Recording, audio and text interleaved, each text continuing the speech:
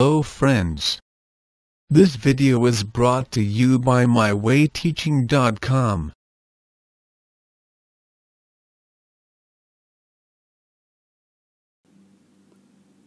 For different requirements from a data, other measures of central tendencies are required. And mode is another measure of central tendency or another form of representative values. The mode of a set of observations is defined as the observation that occurs most often. Let us take up this example and try to understand the definition of mode and also the need for mode. This is a record maintained by a shopkeeper who sells shirts. He kept a record of the sale of sizes of shirt.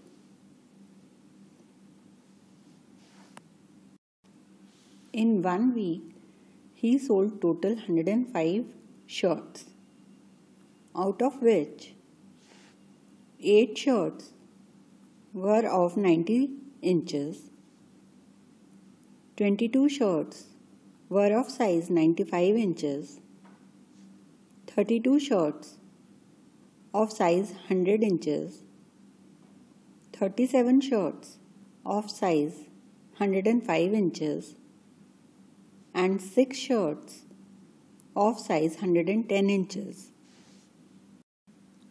Looking at the data collected by him, he came to the conclusion that he must order more shirts of 105 inches and we can say that mode for this information is 105 inches as 105 is the observation that occurs maximum number of times. Let us also discuss here why we required mode and why mean could not serve the purpose. Suppose if we had calculated the mean for this information, it would be total number of shirts which is 105 divided by the number of observations 1, 2, 3, 4, 5 whole divided by 5 which would give us 21 and that would mean that the shopkeeper and that would mean that shopkeeper should order 21 shirts of each size. Now it is for you to decide whether it would be wise for the shopkeeper to use mean and order the shirts or use mode to order the shirts. If he orders 21 shirts of all sizes, he won't be able to fulfill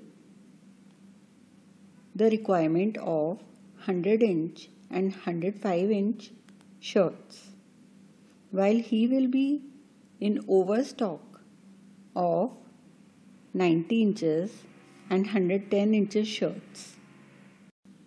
Hence, we can say that use of mode would be better measure of central tendency by the shopkeeper. And his stock must have more of 105 inches and 100 inches shirt than 90 and 110 inches shirts.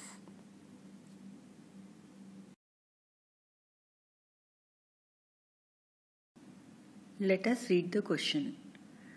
Find the mode of the given set of numbers. Let us rearrange our data and arrange the numbers with the same values together. We will get 1, 1, 1 3 times, then 2, 2, 2, and 2 4 times, 3, 1 time, and force 2 times. Now according to the definition of mode, it is the set of observation that occurs most often. And in this data we can see that 2 is occurring maximum number of times. So we can say that mode of this data is 2 because it occurs most frequently than other observations.